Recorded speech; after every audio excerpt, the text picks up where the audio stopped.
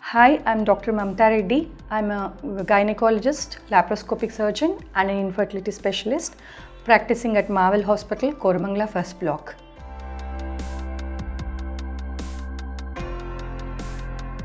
Antidepressant uh, drugs, which are commonly used, like uh, fluoxetine, sertraline, given over a short period, say in the premenstrual phase for a period of uh, 10 days, uh, is used as a treatment option in women who have premenstrual depression.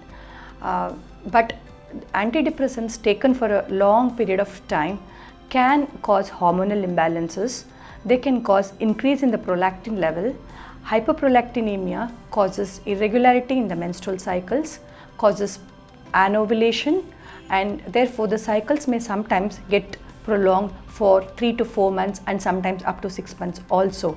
So the uh, prolactin level has to be estimated and it has to be treated and the cycles have to be regularized in these individuals.